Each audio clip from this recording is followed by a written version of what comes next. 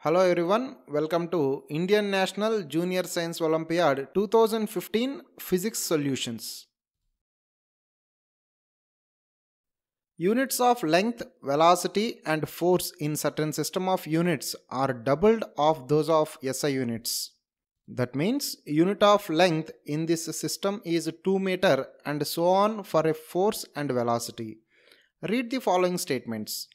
Unit of mass is unchanged, unit of time is unchanged, unit of linear momentum is doubled, unit of energy is doubled. By taking the length, velocity and force as fundamental quantities, we can write mass in terms of these fundamental quantities as m equal to Lf by v square. Unit of mass in new system m dash equal to 2 times L into 2 times F by 4v square that is uh, Lf by v square that is equal to m indicating that unit of mass is not changed. Rest of the solution is in next frame. Time in terms of given fundamental quantities t equal to Lv by f power 0. Unit of time in terms of new system t dash equal to 2L by 2v into 2f power 0 which comes out to be t. Linear momentum of the particle p equal to mv that is Lf by v square into v that is Lf by v. Unit of linear momentum in terms of new system p dash equal to 2L into 2f by 2v that is 2 times Lf by v that is 2 times momentum. Energy of the particle E equal to F into L that is also equal to work done. Unit of energy in terms of new system U dash equal to 2F into 2L that is 4 times FL so it is 4 times E. So from these observations we can see B is the correct option. A beam of yellow light traveling in vacuum lambda equal to 600 nanometer enters an ordinary transparent glass mu equal to 1.5. Read the following statements. Its wavelength becomes equal to that of red color in vacuum. Its wavelength becomes equal to that of green color in vacuum. Energy of the photons corresponding to the refracted light is the same as that corresponding to incident light. Energy of photons decreases. Wavelengths of red and green color lights in vacuum 700 nanometer and 550 nanometer. Wavelength of yellow color light in vacuum is 600 nanometer. So the wavelength of yellow light in glass lambda glass equal to lambda by mu which comes out to be 400 nanometer. As the light photons enter glass frequency remains the same. So the energy of the photons in refracted light is the same as that of the incident light. So option A is correct. Air of density rho moving with velocity v strikes normally on an inclined surface of area A of a wedge of mass m kept on a horizontal surface. Collisions are perfectly elastic, that is no loss of kinetic energy. Minimum coefficient of static friction between the wedge and the horizontal surface for the wedge to remain stationary is Force exerted by air on the inclined plane F equal to change in momentum by time that is 2 mv by t as the collision is perfectly elastic. That is 2 times mass can be written as volume into density into v by t that is 2 times a rho v square. Frictional force between the wedge and the surface should be greater than the horizontal component of this force. So F sin theta equal to mu n or f sin theta equal to mu times mg plus f cos theta from where we get uh, mu equal to f sin theta by mg plus f cos theta that is 2 times rho a v square sin theta by mg plus 2 times rho a v square cos theta. A mass hanging with a spring suspended from a ceiling is pulled down and released. The mass then oscillates with SHM of period t. The graph shows how its distance from the ceiling varies with time. What can be deduced from the graph? Capital T is the time taken to complete one oscillation that is known as time period. So time taken to complete half of the oscillation is t by 2. That is, the block goes from lower extreme to upper extreme. As the block is moving from lower extreme to upper extreme, it crosses the mean position at t equal to t by 4 and at mean position a simple harmonic oscillator will have maximum speed. So option C is correct. Figure shows a small boat containing some iron balls floating on a still lake. These iron balls are now dropped into the lake. Select the wrong statement. Level of lake will fall with ground reference. The boat will rise with water reference. Level of boat will rise with ground reference. Water level will not change from ground reference. The mass of boat B capital M and mass of iron balls is small m. Density of iron ball is rho i. Density of water is rho w. Volume of water displaced in the first case V1 equal to m plus m by rho w that is capital M by rho w plus small m by rho w. Volume of water displaced in the second case V2 equal to capital M by rho w plus small m by rho i. So the last option D is wrong. There exists a uniform magnetic field perpendicular and inward to the plane of the figure through rectangular area ABCD only. PQRS is a rectangular loop of an electrically conducting wire partly inserted in the region ABCD in the plane of the figure. Read the following statements. Clockwise current will be set up in the loop in figure 1. Clockwise current will be set up in the loop in figure 2. Clockwise current will be set up in the loop in figure 3. Clockwise current will be set up in the loop in figure 4. Let's analyze all the four cases. In the first case, area of the loop is decreasing, so flux into the plane is decreasing. The induced current should try to increase it, so the current flows in clockwise direction. In the second case, area of the loop is increasing, flux into the plane is increasing. The induced current should try to decrease it, so the current flows in anti-clockwise direction. In the third case, area of the loop is decreasing, flux into the plane is decreasing. The induced current should try to increase it, so the current flows in clockwise direction. In the final case, area of the loop is increasing, flux into the plane is increasing, so the induced current should try to decrease it, so the current flows in anti-clockwise direction. So the correct option is B. Three filament bulbs made from a metal of low thermal coefficient of resistivity are arranged as shown in figure. The wattage rating of each bulb is the power output if it is connected independently across 240 volt. The bulb that glows brightest and least bright are respectively. Resistance of the filament R equal to V square by P.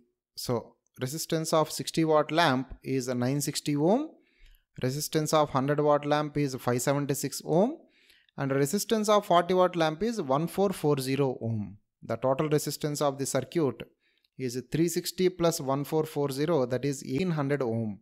So the current through the circuit I equal to V by R that is 240 by 1800 which comes out to be 2 by 15 ampere. Coming to current through 60 watt lamp I60 equal to V by R that is 576 by 576 plus 960 into 2 by 15 that is current divides in inverse ratio of resistances in parallel combination which comes out to be 5 into 10 power minus 2 ampere. Current through 100 watt lamp similar calculation gives us 8.3 into 10 power minus 2 ampere and current through 40 watt lamp is 2 by 15 ampere. Now power consumed by the 60 watt lamp P60 equal to I60 square plus R60 which is 2.4 watt. Power consumed by 100 watt lamp is 4 watt and power consumed by 40 watt lamp is 25.6 watt from which we can see the correct option is D. An equiconvex lens of focal length f is cut into two equal halves which are pasted as shown in figure. The focal length of the new system will be given focal length of equiconvex lens is f. When the lens is cut into two halves perpendicular to the principal axis, two plano-convex lenses are formed. The focal length of so formed plano-convex lens is 2f. So by applying a formula for combination of lenses, we get 1 by capital F equal to 1 by f1 plus 1 by f2 which gives us the effective focal length of the system to be equal to f. 12 identical wires are connected in the plane as shown in figure. The 6 outer wires make a regular hexagon and the remaining 6 join the vertices of this hexagon with a common center C. Each wire has a resistance of 20 ohm. Calculate the effective resistance between A and B. If you connect a battery across A and B, the currents in AC and CB are the same and those in DC and CE are the same. Since the currents in AC and CB is the same, joint C can be removed. Since the current in DC and CE is the same, joint C can be removed as stated above. Now resistance between A and B and D, D and E is 2 by 3 R. So resistance between F and G is 2R. Now you can see the redrawn circuit resistance between A and B is 11 by 20 R that is 11 ohm. When 5 volt are applied across the terminals of a galvanometer 100 milliampere current passes through its coil and the galvanometer shows full scale deflection. With suitable modification it can be used to measure potential difference or currents with certain sensitivities. A shunt resistance is now connected parallel to the galvanometer so that 80% of the current approaching the coil goes through the shunt. This ammeter is used to measure current supplied by an ideal cell of EMF 6 volt connected across a bulb of resistance 40 ohm. Calculate the error in the measurement of the current passing through the bulb. Resistance of the galvanometer G equal to V by Ig that is 50 ohm shunt resistance S equal to G by I by Ig minus 1 which comes out to be 12.5 ohm. Resistance of the ammeter is uh, 10 ohm you can see from the calculation. Actual current in 40 ohm resistance I equal to V by R so that is 6 by 40 0.15 ampere. Now the current measured by the ammeter is 6 by 40 plus 10 that is 6 by 50 that is 0.12 ampere. So the percentage error is 0.15 minus 0.12 by 0.15 into 100 which comes out to be 20%.